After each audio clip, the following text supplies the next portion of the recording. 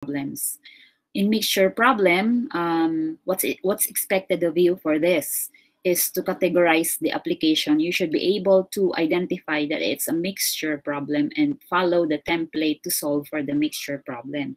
Apply the principles necessary for each type of problem to derive the necessary formulas and applications. Now, typically, what is a mixture problem? It involves a given solution or mixture with initial volume of the fluid containing a substance at time t. Uh, at this particular time, say initially, at time equals zero, um, the volume of the solution inside the container is given. And then there's a solution or a mixture containing the same substance that enters the tank. Let's say the, the container is a tank at a known rate and the resulting mixture is kept uniform by constant stirring. And this is allowed to flow out of the container at a given rate also.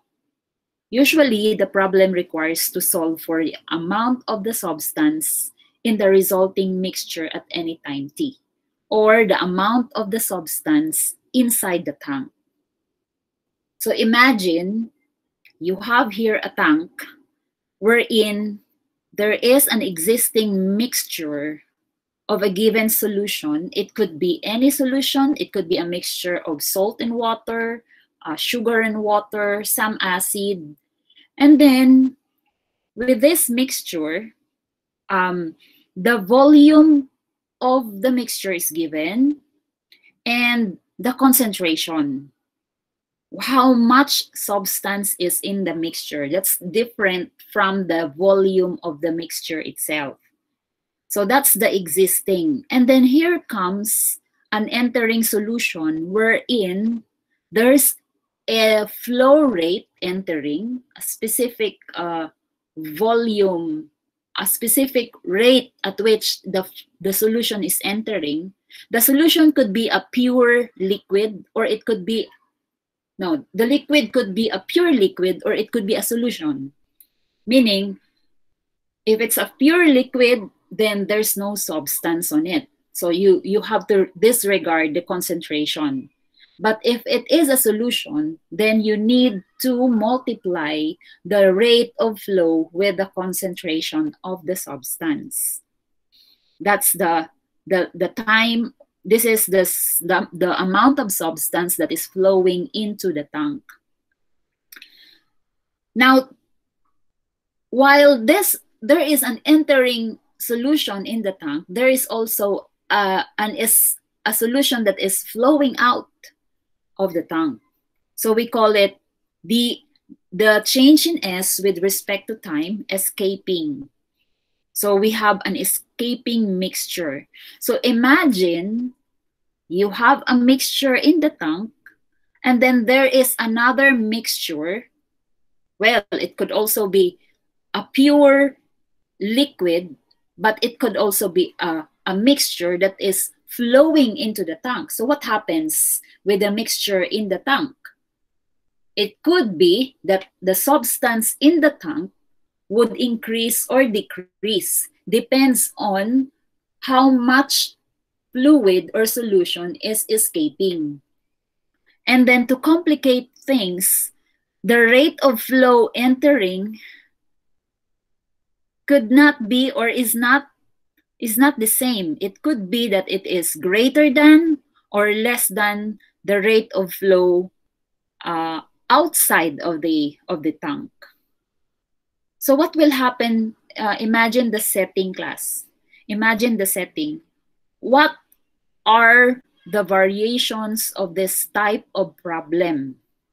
The mixture of the solution in the tank is dependent on the amount of substance that is flowing into the tank as well as the rate of flow in the tank.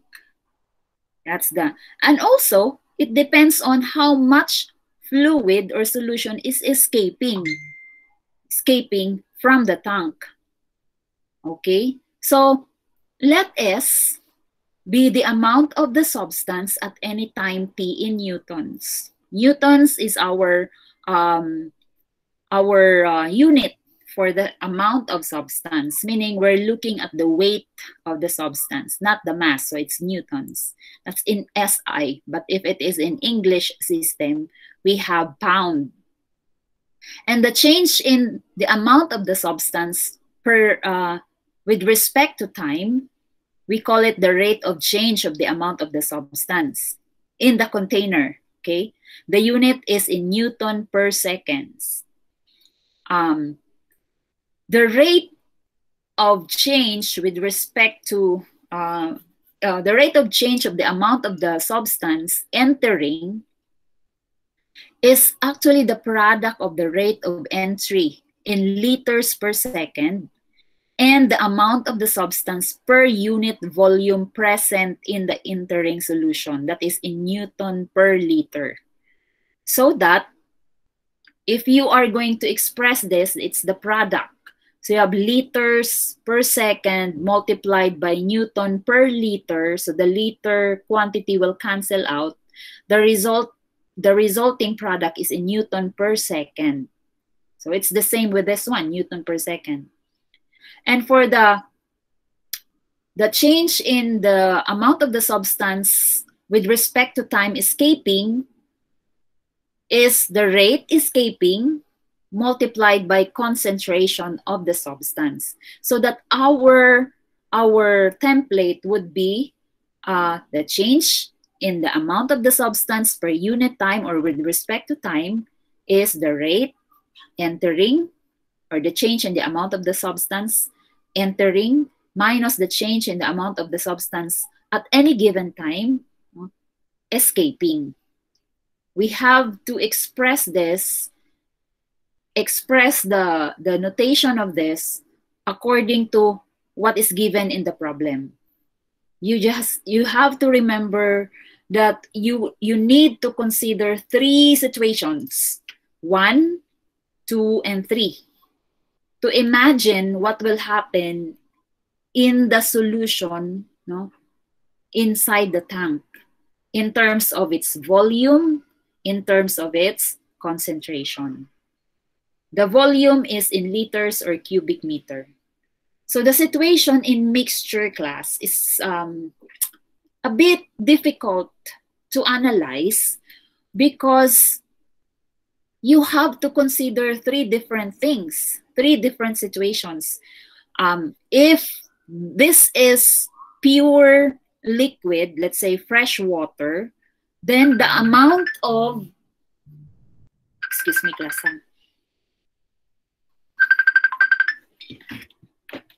Hello. Hi. I, I'm nag, nag, nag, ano ko, nag, uh, nag-lesson. Yeah, I'm uh, nag-group. Hmm.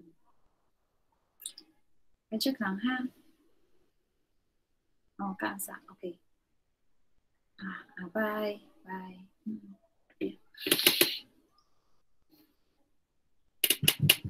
So um okay sana tayo um, the mixture of the given solution will change depends on. If this flow rate is faster than this flow rate if the inflow is faster than outflow then there is an additional uh, volume of water that will be mixed in the mixture in the initial mixture of the or initial volume of the solution in the tank. Madadagdagan siya kasi mas ma, mas mabilis yung inflow sa outflow. And eventually mag-overflow yung tank. 'di ba? If the concentration also is much um much larger no? Yung, yung concentration, yung volume of concentration or the amount of substance uh, in the solution is, is greater than the concentration of what's inside the tank and as well as the rate of flow it could be that it's greater or lesser, but then the tendency of the amount of the substance will accumulate up to the point that there is no more water flowing in the tank. Hindi na makapag-flow kasi napuno na siya ng substance. Kuha nyo? And if, for example naman, that the concentration is much less and then there's so much water inside the tank, then it could be that it will be diluted such that na natutunaw na no nadidilute at wala nang naiiwang solution sa tank. Pwede rin ganon. Kaya you have to make sense of the situation to be able to analyze this type of problem. And supposing we have this, a tank initially contains 380 liters of brine holding 450 newtons. So this is initially what's inside the tank. 450 newtons of three uh, in a 380 liters of, of solution of brine. So therefore, the concentration would be 450 divided by 380. That's that will give you about 1.18 newton per liter. That's the concentration inside the tank, and the volume is 380 liters. And then 8 liters per minute of brine containing 375 liter in red mark is what's entering inside the tank. And assuming that it lives at the rate of 12 liters per minute, so you see 8 liters is what is inflow and the outflow is 12. So this is greater than this one um, determine the amount of salt after 10 minutes. So after 10 minutes, what do you think will happen to the amount of salt inside the tank? Will it diminish from 450 to something smaller? Sa palagay nyo, ano kaya mangyayari? And then, next question is, when will the amount of salt in the mixture be 500 newtons. So this is a clue because this is initially 450 and then here comes a question that it becomes 500 meaning it could be that the amount of salt in the tank is actually increasing because of this uh, question here. So that gives you a clue. And what is the maximum amount of salt in the mixture? So take note of the word maximum, which means you're going to make use of the concept of maxima minima, wherein, if you remember, the first derivative of a function in order to get its maximum value is to equate the first derivative to zero huh? in your maxima minima concept. So our approach is to let the initial amount in the tank be S sub O, a time t equals O, uh, t, t equals zero.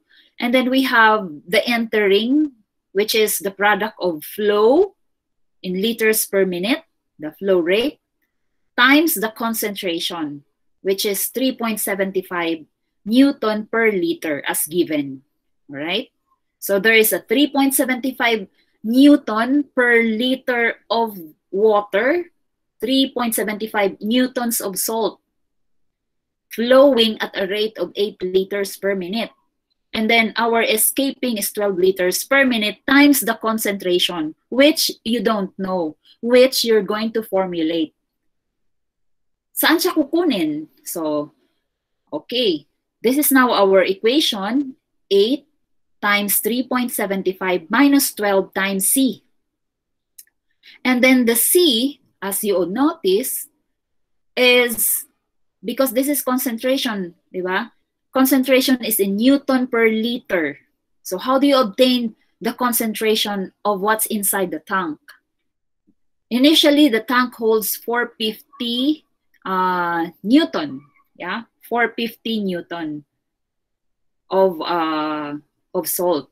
But at, after some time, that con that that amount of salt will change it will increase as we as we can uh, uh, as expected because of this statement so that since it's a variable you cannot use this in the equation as 450 you let S be the amount of the salt in the tank as a function of time. So the cons in the in, in formulating the the um, the formula or the the the expression for the C, we use S instead of the fixed 450 because this is only for when time is zero initially. Okay? So we use S. That refers to the Newton, the amount. So S Newton divided by, this must be in liter. So the liter, uh, the, the volume, which is in liter, uh, should be 380, which is the initial volume of the so of what's inside the tank. And then since this is lower than this one, the inflow is lower than the outflow, then you get the difference, which means that there is a four liter liter of brine solution that's added every minute. Okay, so this is four liters per minute multiplied by how many minutes, and that represents the time. So that would be the concentration of the uh, the solution that is escaping. Take note that we have a statement here. Um, we have a statement here that is uh, assume uniform uniform the mixture is assumed uniform so by constant stirring it is assumed that what's coming out is actually what is the concentration inside the tank. So that the concentration of the solution in the tank is the same concentration that is coming out of the tank. That's why itong concentration na to is in the tank, but we will use this as the concentration of the escaping solution, right? So we will plug this in to the to the equation that we uh, we have, no? So that at any time t, or the derivative, no, the, the derivative or, or the change in in the amount of salt with respect to time is equal to, this product here is 30 minus 12s divided by uh, 380 minus 40. So we have formulated this out from what's given in the problem. Now, supposing this is 12 liters and this is 8, what will happen to our C? Then, for every minute, uh, since inflow is greater than the outflow, then this 380 minus 40, instead we will write it as 380 plus 40. Because for every minute, nag-a-add ng 4 liters dun sa tank. Why? Because this is greater than this one. If it's equal, then if this is 8 and this is also 8, then we have only S over 380. There's no need to add or subtract any uh, amount, any volume from the initial 380. Okay? So we will have to reduce this or simplify this by dividing this by 4, divide by 4, divide by 4. So it's reduced now to 3s uh, over 95 minus t. And then transpose it. No, This one is transposed to the left. And so we have a folde no? in, in a form, in a standard form of folde, in which um, since our dependent variable is s, then without this s here, this expression 3 over 95 minus t is our p of t. And this will be our q of t, right? And so, since we have an expression of p of t, we can now obtain our integrating factor, which is of this, uh, e to the integral of 3 dt over 95 minus t, with 3 as constant. This is what you're going to integrate. This will be your u so that the derivative of your u is negative 1 because you have a negative t. That's why the next expression would be negative 3 integral of du over u. But this is ln of u. Okay? which you can write as ln of u to the negative 3 by using the properties of um, exponents. And then uh, replace your u in terms of t. And then finally, with this expression here, e to the ln, it becomes this expression itself, which is um, 95 minus t to the negative 3. This is, this is now your integrating factor. Okay? And by the way, from this expression here, you can also approach this by variable separable. If you, this is one group of t, and then you have, oh, or by getting the the uh, you can obtain the the LCD such that you can group together those expressions with S and group together those expressions with T so that you can apply variable separable. In that case, uh, the, the, the, the, you will obtain the time in, you will obtain the, the variable T with respect to S. Baliktad siya. Kasi sa folde, you will obtain the variable S expressed in terms of time. Right? Kaya it's up to you which you prefer so that um, of course you will arrive on the same answer. The only difference is uh, the expression. For, for variable separable, you will be solving the time in terms of S. But for folde, so in this line here, uh, you substitute the integrating factor. So you follow the format dependent variable times the integrating factor equals the integral of the integrating factor times the q of t, which is 30, plus c. So eventually, you're going to solve for s as a function of time. And then you let u be equal to 95 minus t raised to negative 3. So what will happen if this is your u? No, yeah, this is your u.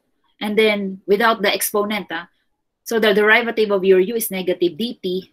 Therefore, next line would show that a third, the 30, when you write it outside, will have a negative sign because of this negative dt. And then you have u to the negative 3.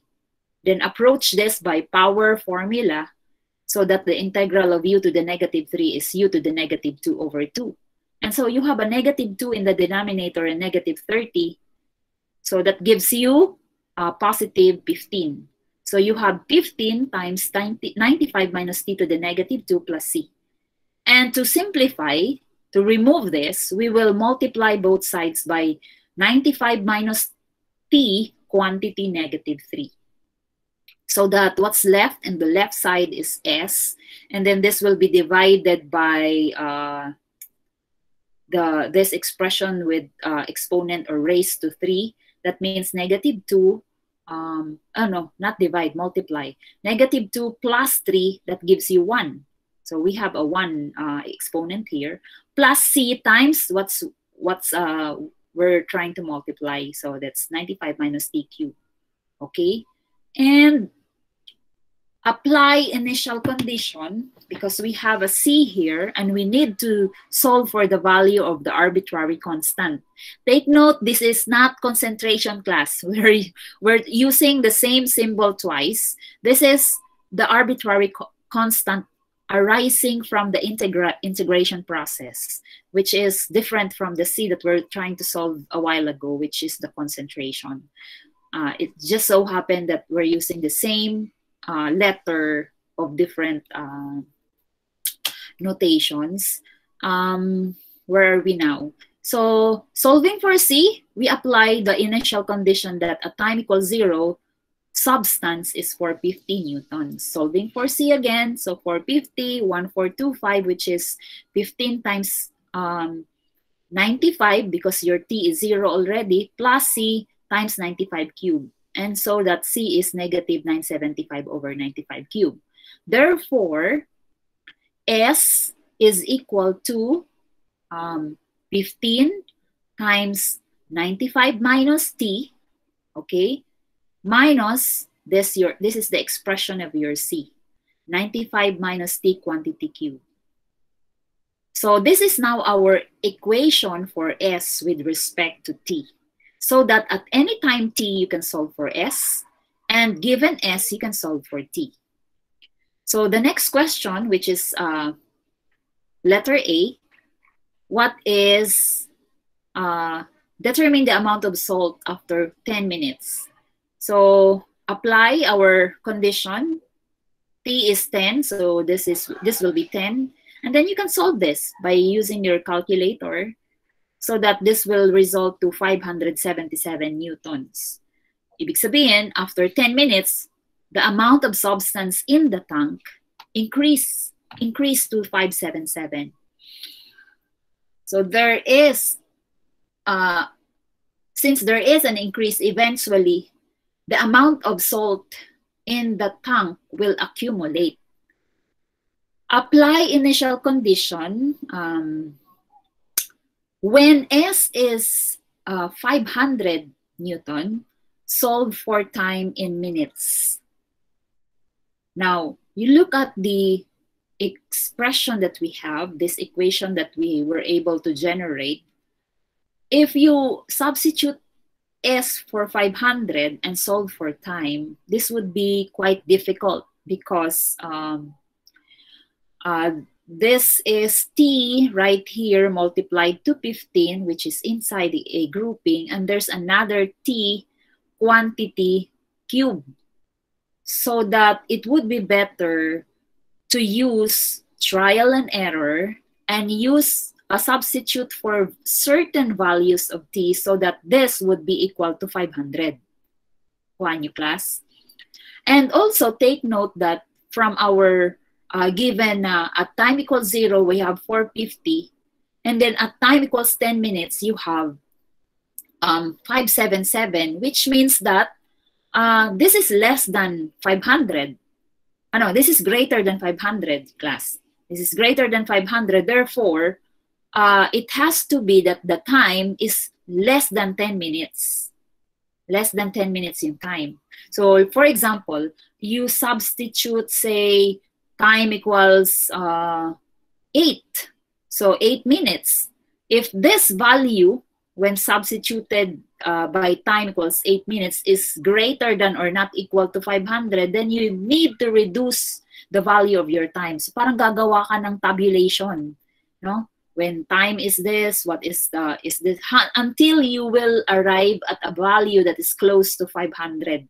So that's the best uh, approach here rather than solving it algebraically.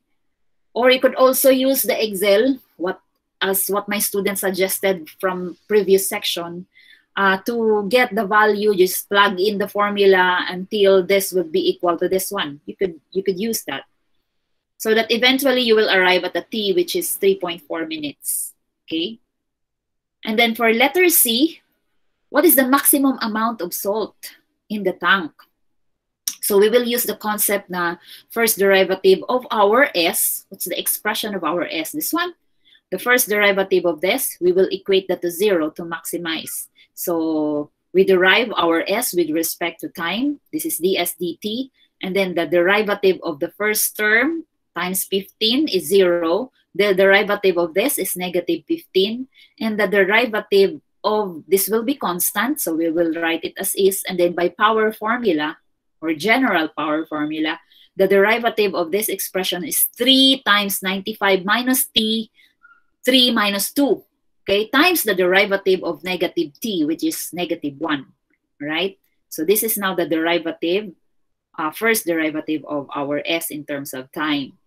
Equate this to 0, and then solve for t.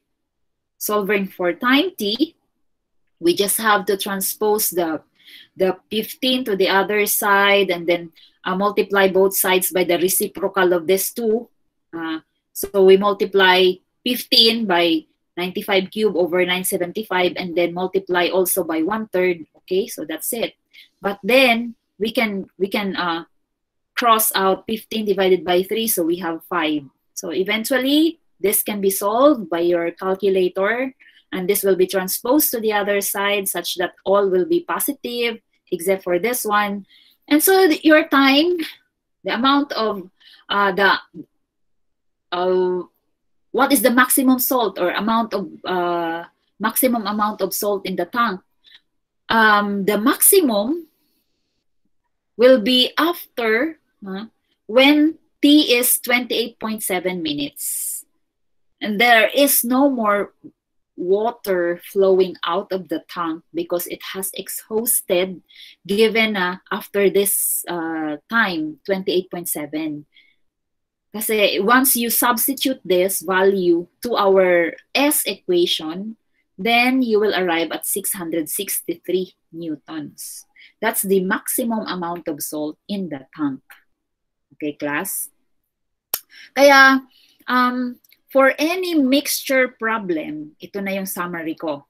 There are a number of variations in mixture problem. In this presentation, we have a non-constant volume in the tank.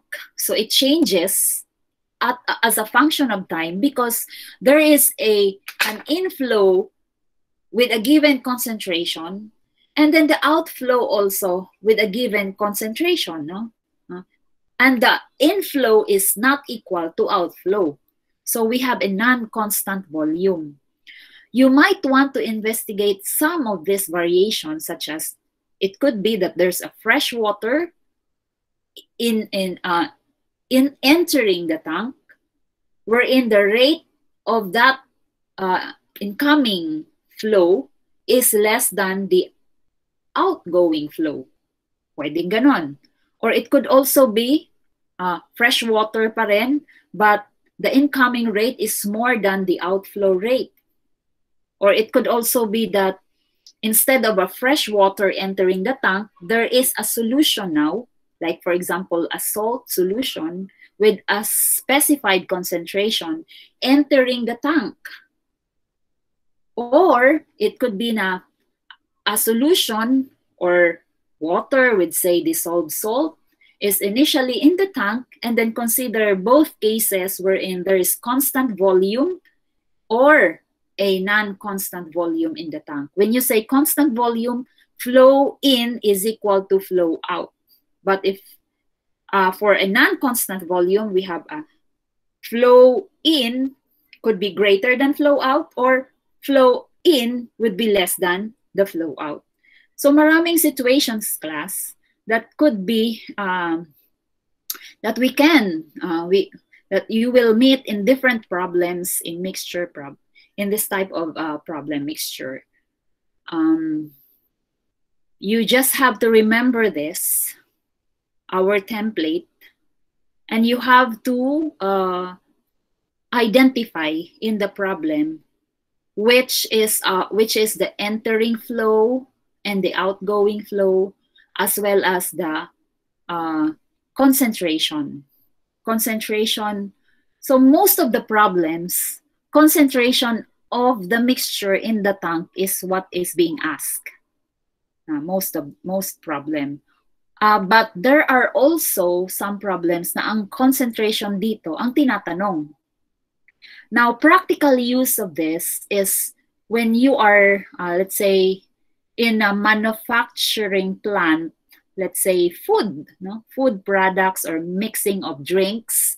So you will you you will see several large tanks na may iba't ibang mixture such that um, well in in reality may mga sensors na yan sila. So masi-sense na yung amount of uh, specified substance in the tank after some time, kailan uh, ilan kaya dapat. So controlled na yung inflow para yung mixture by constant steering ganun talaga ang ma-achieve. And then magpo-flow siya doon sa next tank ulit. Tapos meron na namang mixture doon hanggang sa ma-attain yung product talaga na dapat yun ang ipoproduce ng particular uh, assembly na yun na mixture. So makikita mo. But then, of course, hindi na magsusolve ng ganito kasi nakaset na yon para yun na yung technology na ina-apply doon. Meron na siyang sensor na hindi ka na magpo-compute. But behind that, uh, practical use is the concept. Ito yon yung application ng um, mixture problem class. So, naintindihan nyo? And then we have uh, the assignment here.